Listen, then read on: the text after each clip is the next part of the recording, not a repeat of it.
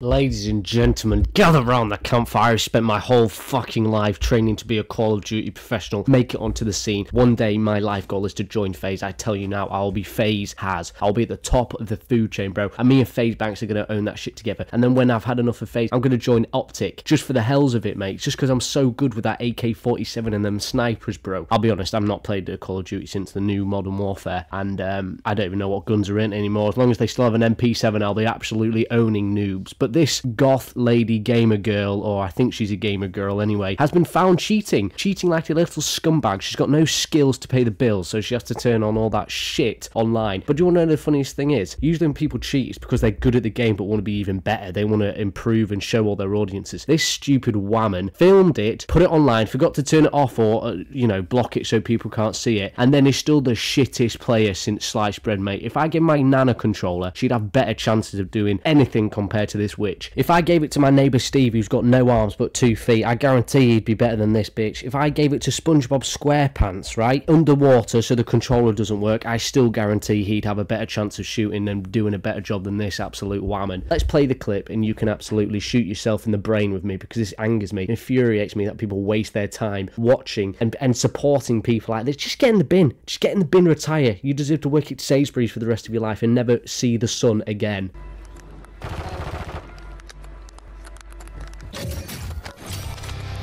Firstly, camping. She's just sat there like an absolute squad of lemons, mate. She can't move. She's, you know, she's got a rainbow coloured thing just in case you couldn't work out what side of the fence she's on. Don't get me wrong, this is not a personal attack on her horrific eyebrows. Uh, well, that was. But this is an attack on her personality, and her personality stinks because she's playing Call of Duty, cheating, and then still shite at the game. She's gone famous, and it angers me that people are given opportunities like this. It's crazy. Oh, let me turn on my on my uh, cheats. Oh, uh, people have appeared. What a what a surprise! How shocking is this? Oh, I better I better entertain my audience.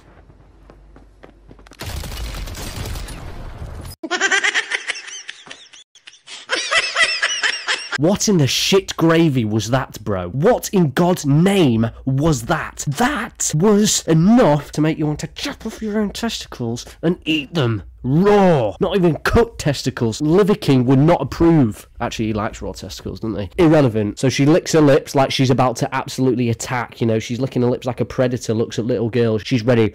I found my victim. I've found them. Cheats are on. Guns reloaded. I've got my three friends watching me, which, by the way, not not hating on her. You know what I mean? We've all got to start. But she's a fucking shit idiot who can't play Call of Duty. If someone held a gun to her head and said, you need to kill this person or we're going to kill her, she might as well not attempt it because she is garbage.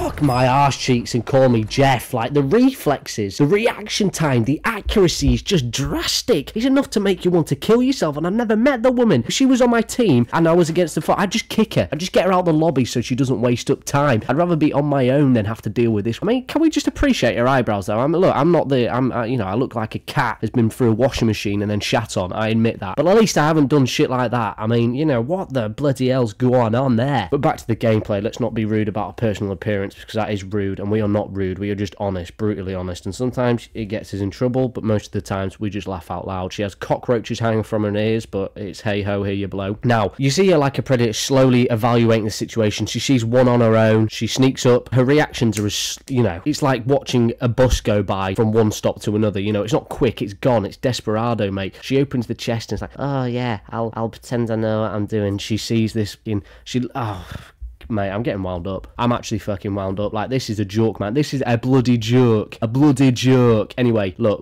there's worse gamers than her, I'm sure, but I've yet to seen any. I mean, that is poor. Not only is that what you call um, rubbish at Call of Duty, but that's just poor everything. Your reflexes are as slow as tangerines. You know, you, you're cheating as well, which is just scumbag behaviour. Like, get in the bin. You're broadcasting it. Usually when people broadcast it, you've got to have two things. You've got to be entertaining or have a personality or something, or you've got to be good at a game. She's got neither. She's exciting to look at as a fucking dry wall. I would literally rather watch my friends, my family get run over a bus. That would be more fucking interesting. That was horrible. But do you get what I mean? I would rather watch myself, watch my legs get repeatedly ran over by a bulldozer than watch this woman try and play Call of Duty anymore. I'd rather stick forks in my eyes and have to walk around like that for the rest of my life than watch another 10 seconds of this silly woman pretending she knows what an, an Xbox is and, oh, I play Call of Duty. Yeah, bitch, sure you do. And I've got a 7 inch penis. Nah, fuck that. I've got a 3 inch penis. oh, dear.